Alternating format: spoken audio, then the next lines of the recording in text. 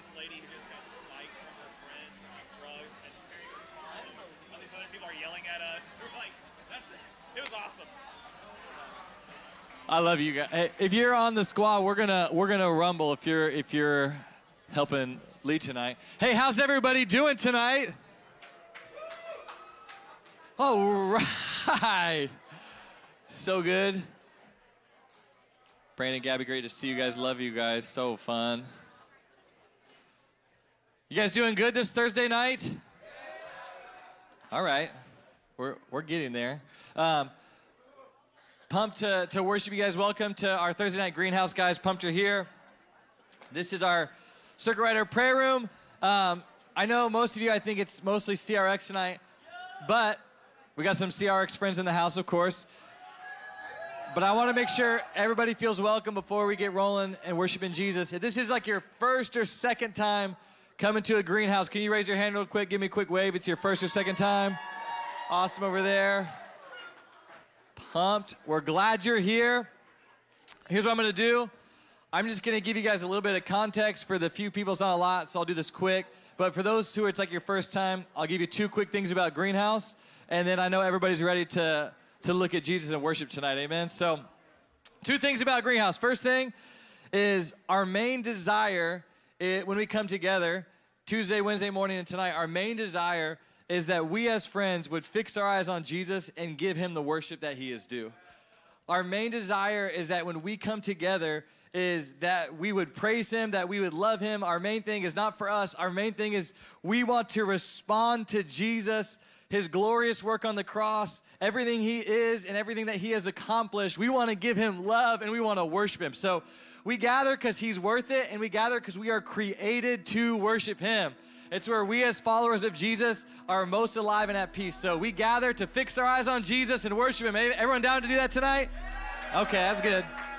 Okay, second thing is in the light of his presence, as we praise him, as we worship him, as we're in his presence, typically on these Thursday nights, especially, the, the Lord wants to minister to us. So we like to make room. Our second thing is we like to make room for Jesus to pour out his love, his affection, his presence, his power in our lives and transform us to become more like him. So we're going to make room tonight, um, specifically just to get you in faith and excited. We're going to pray for those who are sick tonight. Somebody was ready to pray with me tonight. You're on my team. We're praying together. We have seen some real significant breakthroughs in healing. I'll share them a little bit later um, once the rest of our friends are here. But just believing tonight that we are going to continue um, to follow.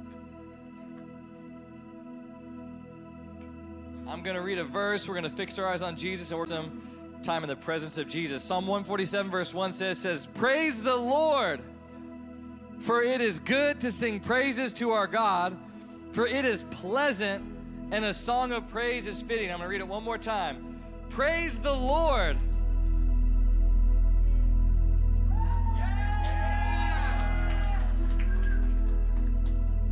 One more time. We're almost there. Praise the Lord. Love you, Jesus. For it is good to sing praises to our God, for it is pleasant and a song of praise is fitting. Jesus, we come before you with a song in our hearts, Lord, and we're about to sing it out, Lord. We come before you with joy overflowing. Jesus, we are thankful to be in your presence together, Lord. We are thankful that we get to worship you and praise you with all of our hearts. Jesus, it's never gotten old to pour love back on you. Having revelation of all you've done for us. We're thankful for the cross. We're thankful that you made a way. We're thankful that you forgave our sins. Jesus, we have a song of praise to always sing back to you because you've loved us so richly and so deeply. So tonight, Lord, as we sing, I pray you would catch us up. Catch us up into a unified song of praise and worship tonight. Every one of our hearts, Lord, would you fill our hearts with praise? Would we overflow with praise tonight, Lord? Oh, Holy Spirit, would you fill this room with your presence, Lord? As we sing, as we worship you, we love you, Jesus. Jesus.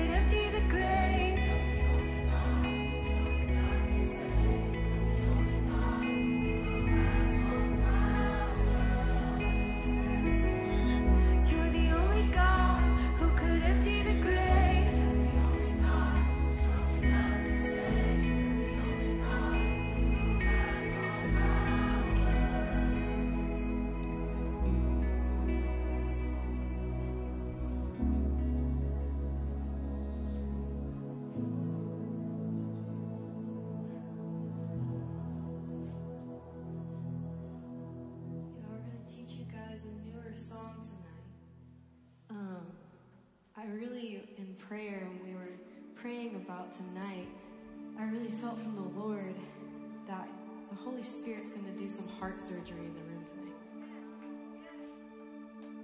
And so, if any of you walked in with your hope deferred, if any of you walked in this room with disappointments, I want to encourage you that He wants to speak to you tonight.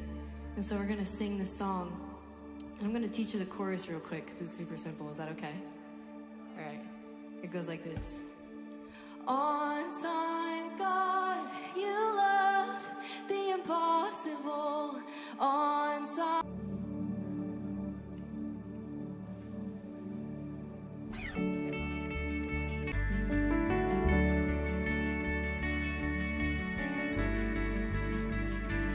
When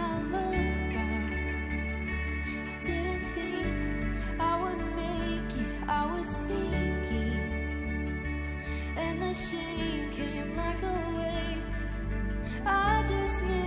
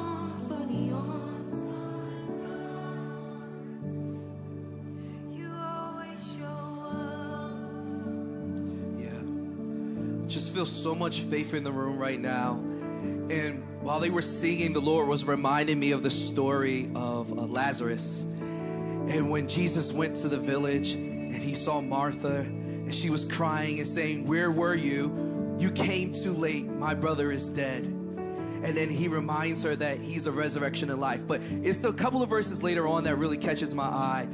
When Mary comes up to Jesus and she is crying, she's like, Where were you? You're too late. The next verse, uh, John 11, uh, verse 35, I believe, it says, Jesus wept. And then right after Jesus wept, he said, Take me to your brother. And then we all know the ending of this story Lazarus is raised from the dead. But what I believe Jesus is trying to get us to know is while you're waiting for him to show up, he actually is feeling your emotions. Before he even raised Lazarus from the dead, he wept.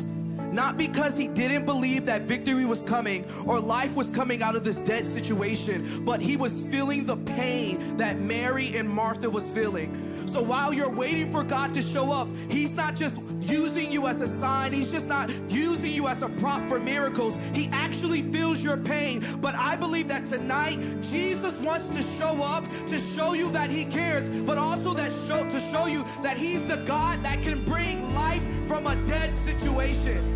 And so as we go into this next song, I believe we're going to press through for even more of a breakthrough. So whatever you believe that has been a dead situation in your life, whatever you believe that God was just too late to show up for, I believe right now, get that on your mind and we're going to just press in for greater breakthrough. Are you guys with me?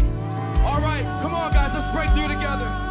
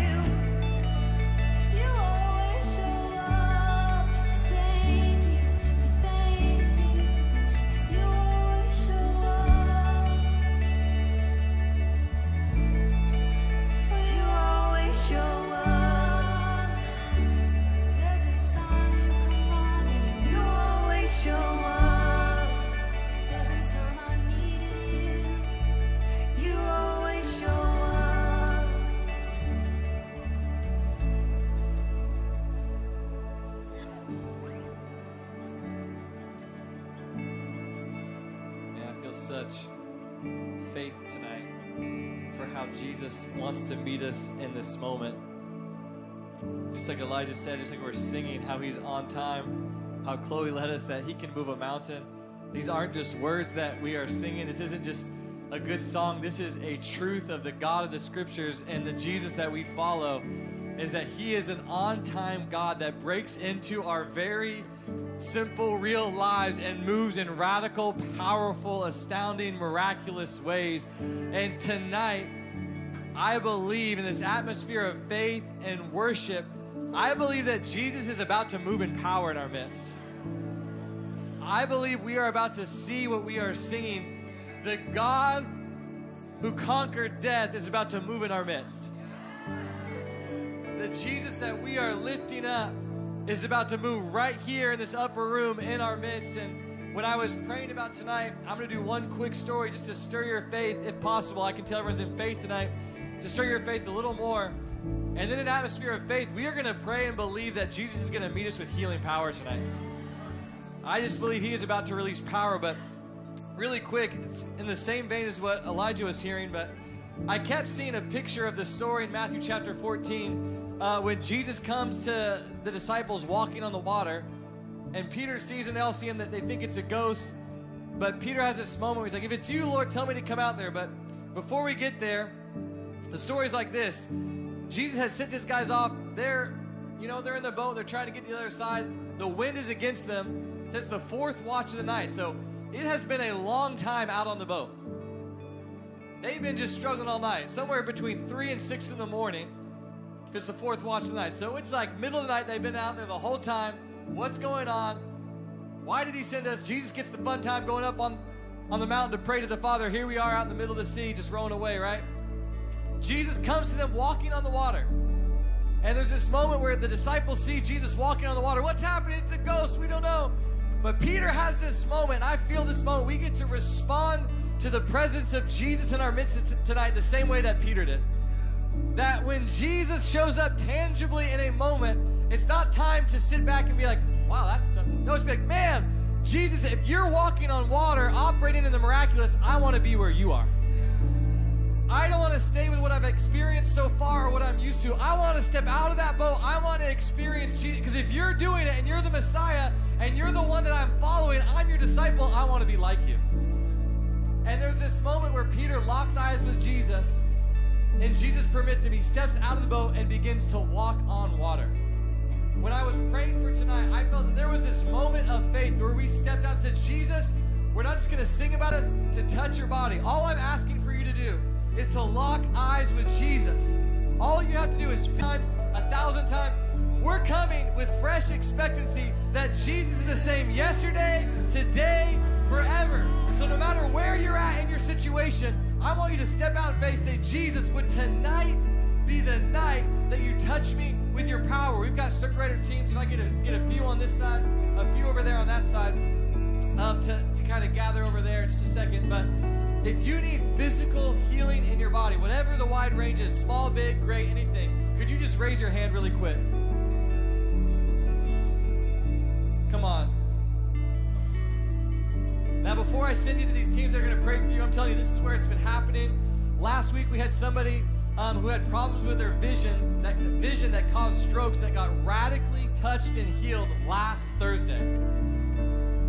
Instantly healed. So if you raise your hands, here's what I want you to do. Before you go over there, we're going to pray in agreement as a room. We're going to cry out and say, Lord, would you release your power tonight? Would you release power tonight? And then what I want you to do is I want you to go find one of these teams on this side or that side. And for the next few minutes, we're just going to believe. We're going to fix our eyes on Jesus and believe for healing. But before you do, could you all stand with me? We're going to pray for 30 seconds. Remember, this is who He is. It's what He wants to do. So, for the next 30 seconds, can we lift our voice and we say, Jesus, would you pour out a demonstration of your power in our midst tonight? Father, we're here in faith tonight. You raised Lazarus. You walked on water, Lord. You were always on time.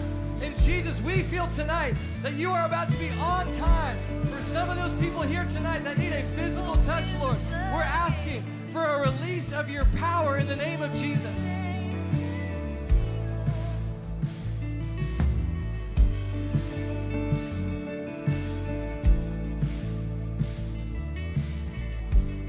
Okay, if you raised your hand, I want to go ahead. If you can move to that side of the room or this side of the room.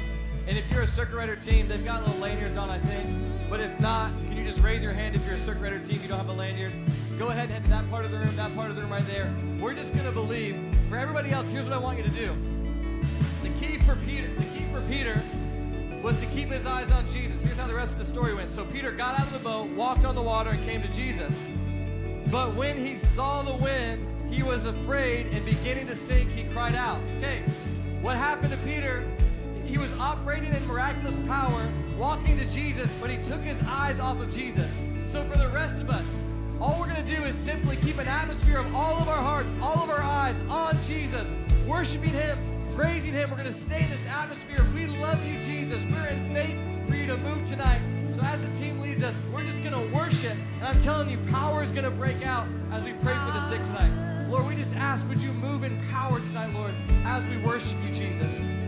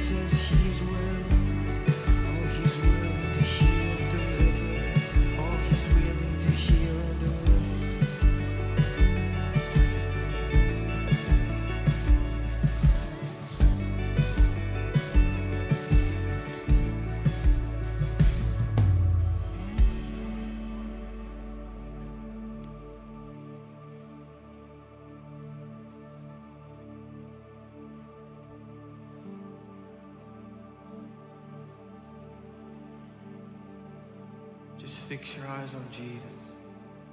Fix your eyes on Jesus tonight.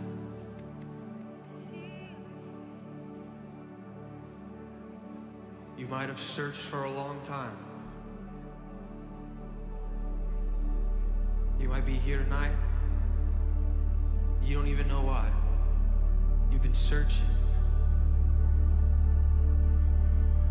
You have lots of questions. But he's here. He's a good shepherd. He's faithful, he's gentle. He knows you. You are his sheep, and you will hear his voice. You just have to ask. It's simple. It's really simple. It's really simple. You don't have to be a prophet to hear his voice. You're his sheep, and he's your shepherd. Come on, you have to know this tonight. If you walked in here doubting God, doubting if you could hear him, if he's actually willing, to talk to you, to heal you, you have to know this character trait about him. He's good. He's good. He's faithful. And he's filled you. He's filled you. You know him. You just have to ask.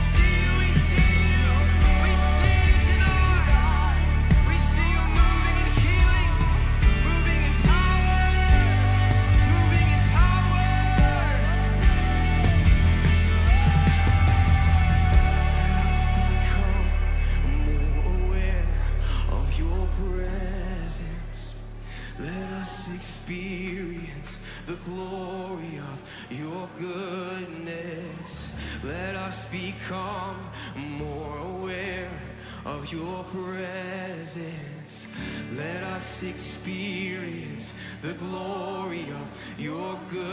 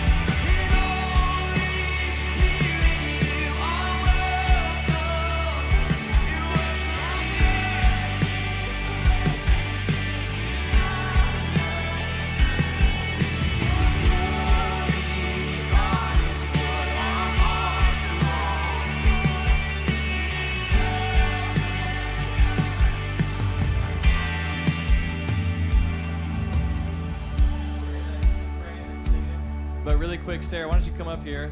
This is just uh, amazing. God's moving in our midst. I just met Sarah a few minutes ago. Sarah, just tell us real quick what happened four days ago and then how you're feeling right now. Yeah, so sorry, all good. Um, I tore. I'm not really sure, uh, but I might have torn a ligament in my elbow or my wrist. Sorry. Um, and it was really swollen. There was a lot of like I couldn't move my wrist at all. I had a brace on, craziness, and I got just got prayer and I could fully move my wrist, which I haven't been able to move for like three days. So it's kind of crazy. So I just want to make sure I got it right. You got a brace on. You couldn't move your wrist at all five minutes ago. Quick prayer can fully move your wrist. God's touching you. Yeah, it's crazy. And then physically, you felt like the presence of God. Yeah, so she was praying over me. I also have bruising on my arm. Um, I play volleyball, so that's what the bruising's from. And I could already feel just like warmth running through my body. And as she put her hand on my arm, I could just feel like a lot of like warmth just shooting up my arm. And the br- the bruising's also fading. So Come on, can we thank Jesus? Thank you, Sarah, for coming share. Okay, we're to keep singing what Zach's leading us in. I just wanted to stir faith that God is moving in our midst. So if you've got prayer, we're going to go one more round over here, one more round for physical healing specifically. We got one more thing. But let's keep our eyes on Jesus. Let's thank Him. Let's sing this out.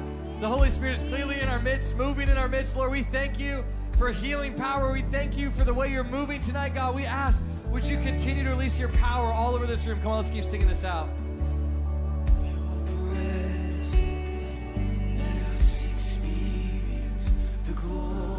Oh, let us experience more tonight, Jesus.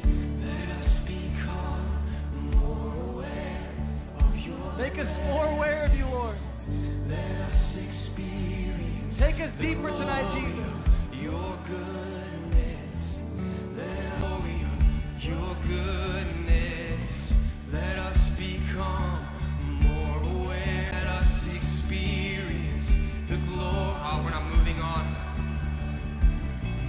Let us become.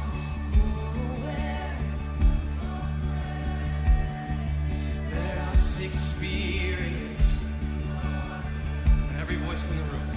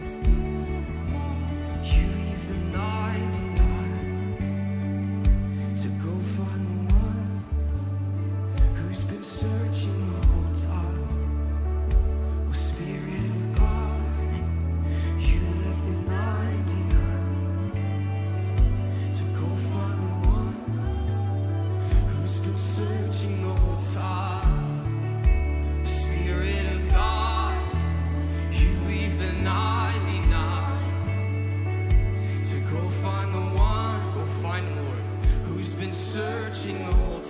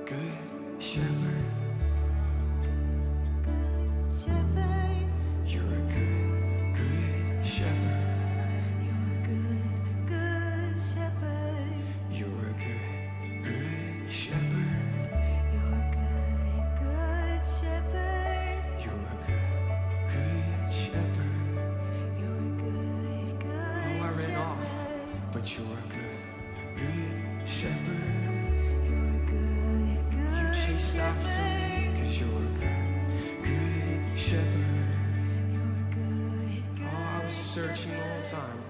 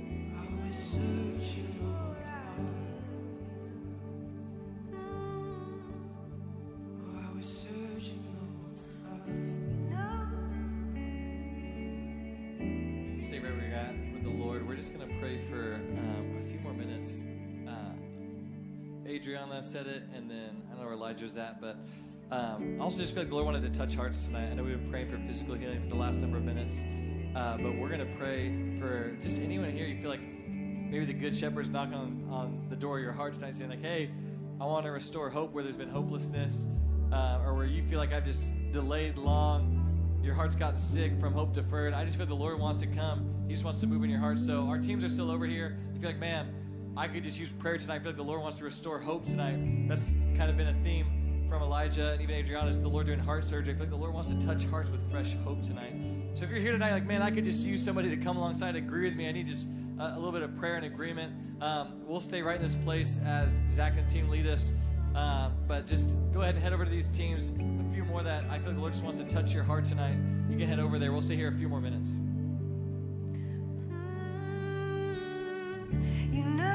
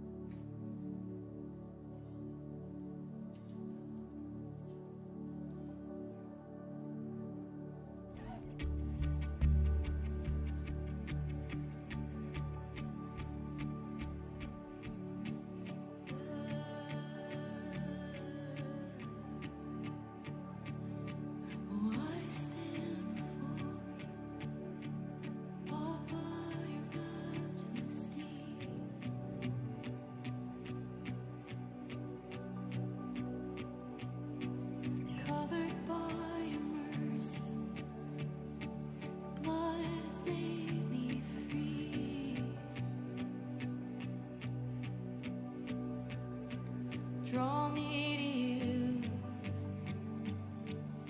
and set my heart on fire. I, I wanna know you.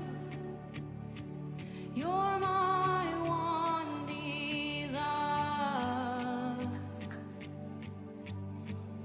So I give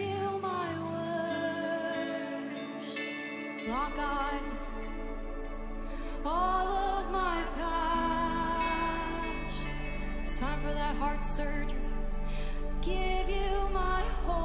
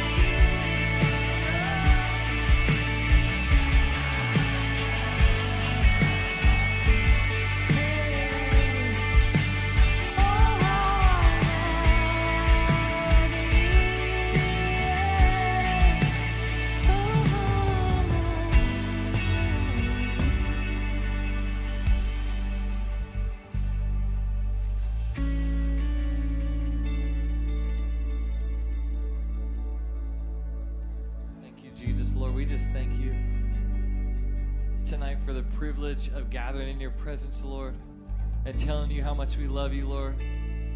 It's our soul's greatest delight and joy is to take time and just to fix our eyes on you and tell you that we love you, Lord. It's the greatest privilege, Lord. We're redeemed, we're washed clean, so we can come into your presence and tell you and respond and tell you that we love you and we worship you and we praise you. So tonight, Lord, as we go from this place, Lord, I just pray that your sweet presence would go among us, Lord, to go with us, Lord, in our cars, in our homes, Lord. We just pray that we continue to live our lives of praise, of worship, even as we leave our greenhouse moment, Lord. We just know that our lives are worship to you, Lord. So we just pray that your presence would go with us to our schools, to our workplaces, Lord, that you would be with us and among us, Lord, that our eyes and our hearts would stay fixed on you and your glory and your beauty, Lord. So, one more time, can we just tell Jesus that we love him? Can we lift our voice one more time? Can we just tell him? It's your own prayer. Can you lift a shout, Lord? We just tell you one last time, Lord, that we love you. We love you. We love you with all of our hearts, Lord. With all of our hearts, we love you, Jesus.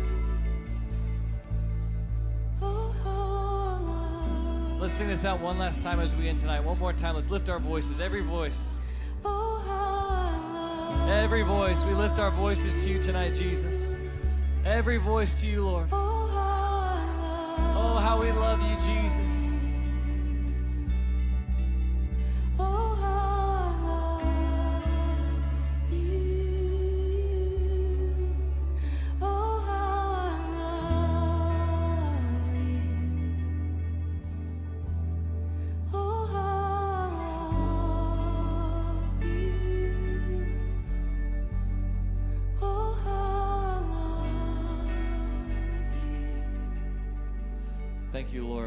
Love you, Jesus. We thank you for healing bodies. We thank you for moving in power tonight, Lord. And we thank you for meeting us with your sweet, glorious presence. In the mighty name of Jesus, amen. Amen. You can celebrate, Jesus. I feel like some of you guys are like, can I clap? Yeah, good. um, so good, guys. Thank you for, for rumbling tonight, Thursday night. Thank you, band, for leading us.